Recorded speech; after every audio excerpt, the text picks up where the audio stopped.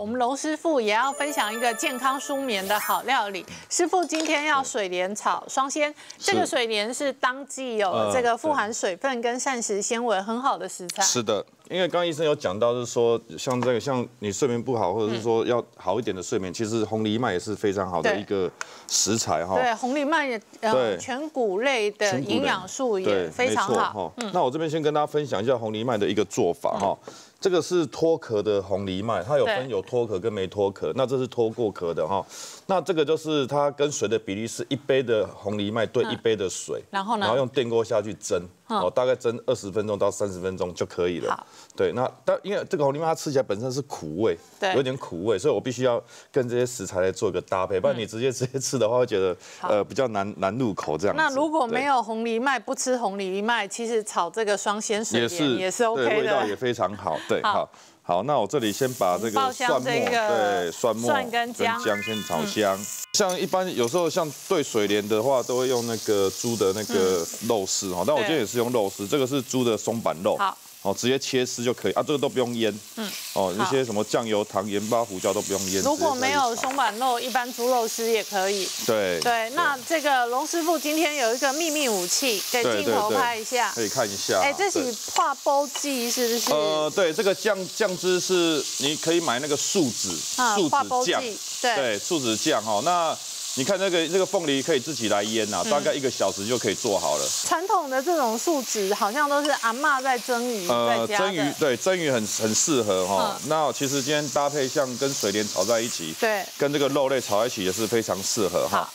对，那接着这里呢，我就先把这个这个黑木耳哦，先下去去炒。对，因为黑木耳它本身它的这个口感会比较脆一点，所以先让它稍微炒软一下哈。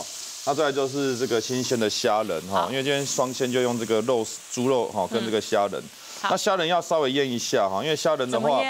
呃，就是稍微用米酒，嗯，然后还有那个盐巴，米酒好盐巴，米酒盐巴。对，然后加大概一小时的太白粉嗯，下去腌一下。那要腌多久？呃，大概超腌二十分钟就好了。那你要让这虾仁吃起来比较脆的话，要再加点蛋白下去，哦，吃起来比较脆感。好对，所以就不要去，因为外市市面上有很多那种就是用硼砂去泡那个吃起来就是对身体比较不好。那师傅，你刚刚讲的这个凤梨树脂酱哦，对是新鲜的凤梨哦，稍微切小块，然后跟这个对素子酱浸泡，要多久它会入味？嗯，这个差不多一个小时就可以好了。对，所以这个就是家常入味，然后它的咸度会比传统的凤梨酱低。呃，对，没错，对，因为传统凤梨酱它那个咸度是很重的，嗯好你还要再调过水。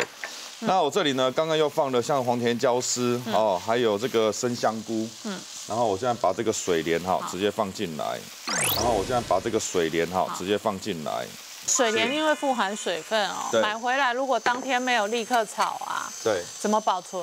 如果你买回来第二天才要用的嗯。话，你要记得一件事情很重要，就是你在冰箱的时候包一定要放在塑胶袋里面好，不要让它去跟那个接触，跟里面的那个冷冻接触哦，很容易黑掉。那我这时候把这个自己酱汁酱汁，把它整个调进来，对，好。因为水莲哦，它其实那个口感跟水分哦保存的这个得以的话，就要吃它的新鲜跟水分。对。那那这个不要再加水进去了哈，我现在把这个稍微盖起来好，用焖的方式把里面的水分稍微焖出来。接着下来，我们的龙师傅这一锅好好像也烧好了。对，你看现在冒烟了，哇，这哦个，水莲好漂亮。对，而且我跟你说，这用焖的方式，你在水莲吃起来，它的口感会特别的清脆，而且它比较不会用炒的炒那么黑的那种感觉，对哦，这颜色都好漂亮。对，非常棒哦！你看这嗯颜色，然后最后呢，就是再把这个蒸熟的红藜麦啊嗯，把它加进去，到时候可以拌在一起吃就可以了。好，那我们就来试吃哦。其实很多食材哦，经过厨师大师的巧手，吃起来的感觉跟我以前吃的感觉都不太一样了。嗯，那其实今天的主题是失眠哦。其实如果你晚上能够吃到这些好东西的话，大概也容易一一觉会好眠啊。因为刚才有提到说，其实有人睡觉之前是脑袋是很空，可是四肢很不舒服、很酸痛。其实这种人哦来找我们的话，我们医生会给他什么肌肉松弛剂。